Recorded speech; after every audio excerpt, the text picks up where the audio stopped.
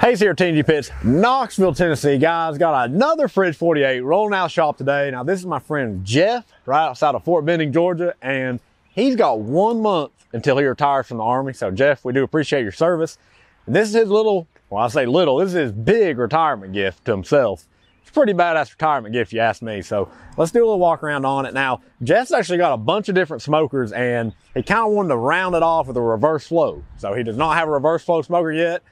So he called us up and said, Hey guys, I need a reverse flow. We were like, Look, the Fridge 48 reverse flow, that's the way to go. So that's what he got here. Got a couple options on it. Let's check it out. Start off with the smoke chamber here. So on all of our fridge models, you get three sliding trays in this bad boy, all 22 inches deep. So uh, what's really nice about the fridge, guys, you get a lot of cook space for how big the smoker is. And they just run great, very easy to run, run smooth, run fairly even across the whole smoke chamber.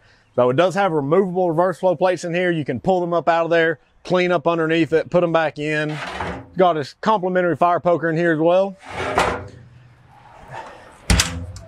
He did option up our TMG Pits Tel-Tru gauges in there, made in the USA. That's what we like to see. And we've got our standard front shelf here with paper towel and utensil holder. That is included, free of charge. All right, that's a standard feature. over here to the firebox. Speaking of standard features, all of our fridge models and copperheads are to come standard with a built-in griddle top. So it's got a grease drain back here in the back, drain your grease all the way down. You can set a little cup down here on the ground, catch your grease. While you're smoking, hey, come over here, grill you some burgers, cook you up some breakfast, all right, while you're smoking. So we love the griddle top, fun to use. It's just kind of one of those, it's, it's there, it's there when you need it. You know what I'm saying? So in here in the firebox, now guys, this is all quarter inch plate steel. He does have his fire management crate on there as well as a ash clean out right there. You got your air intake uh, damper on the door here. Come around to the back side. If you're getting a fridge, guys, you've got to get a rear folding shelf. So folds down just like that. Super heavy duty. Sit on it, take your break. You're getting tired smoking all day, you know, sit down, take a break, prep on it, serve off of it. Great option to add. We love our rear folding shelves.